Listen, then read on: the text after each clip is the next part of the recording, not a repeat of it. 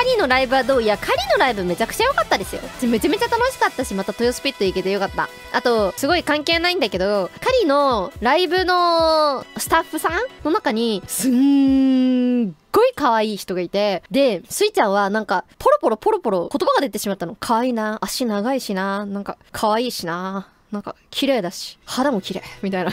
なんか一生ブツブツなんかナンパしててさ。いやもちろん女性だよ。もちろん女性でさ。水おじ 水おじ出てしまった。いやー可愛かったな。今ファンに言いたいことはえー、水おじ水おじと言われていますがスイちゃんはおじさんじゃありませんよ。スイちゃんおじさんじゃありませんよ。でも水おじが出ちゃった。独り言ではナンパ成立い。やいやさすがにねご本人に向かって言いましたから。はい。アクシ、アクスイチャンネルはいつですか？あー、明日かな？明日かな？アクスイアンチ出てきちゃう。もういいんだ、アクスイアンチはね。アクスイアンチは、あの、アクスイアンチであることがね、まあ、可愛いじゃないですか。